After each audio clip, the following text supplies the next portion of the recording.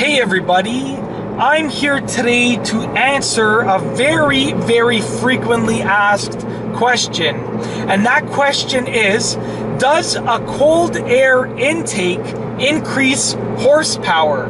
So basically, the question is asking when you install a cold air intake on your car, does it add horsepower? The short answer is yes, it definitely adds horsepower. But I'm also going to give you the long answer by explaining how it adds horsepower. So, basically, a cold air intake allows the engine to suck air from outside of the engine bay. And the air from outside of the engine bay is colder than the air inside the engine bay. Now, colder air is more dense than warmer air.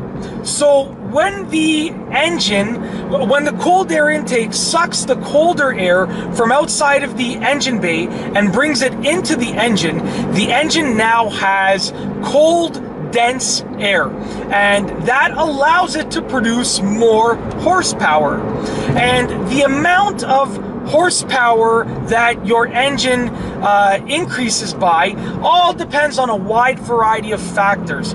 But basically, a cold air intake does increase horsepower, and it does this by sucking in dense air that is outside of the engine bay because the air is colder. So the air is colder and therefore it is more dense and therefore it allows the engine to produce some additional horsepower.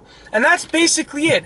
I just wanted to make this video to answer the question that I have seen many, many times. And that question was, does a cold air intake increase horsepower? The answer is yes. And in this video, I have told you the specifics of that horsepower increase. And that's all I have for you today. Thanks for watching